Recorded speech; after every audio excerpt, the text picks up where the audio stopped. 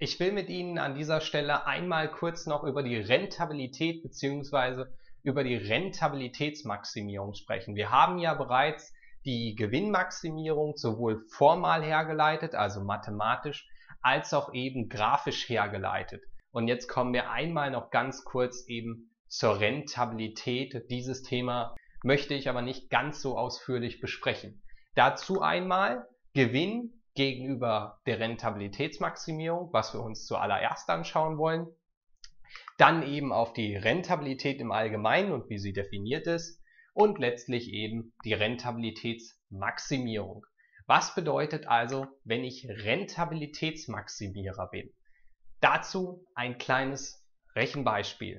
Mal angenommen, Sie geben mir 100 Euro und bekommen 25% darauf dann erhalten Sie einen Gewinn von 25 Euro.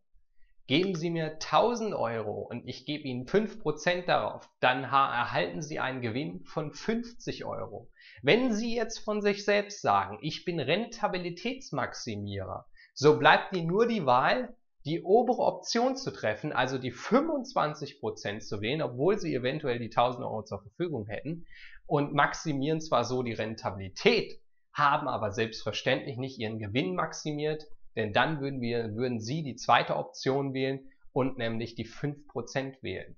Es gilt also immer in den Wirtschaftswissenschaften, den Gewinn zu maximieren und eben niemals das Rentabilitätsmaximum zu erreichen. Wie kommt das? Es ist vor allem so, dass eben die Rentabilität eine prozentuale Zahl ist, also eine relative Zahl und der Gewinn eben in absoluten Zahlen ausgedrückt wird.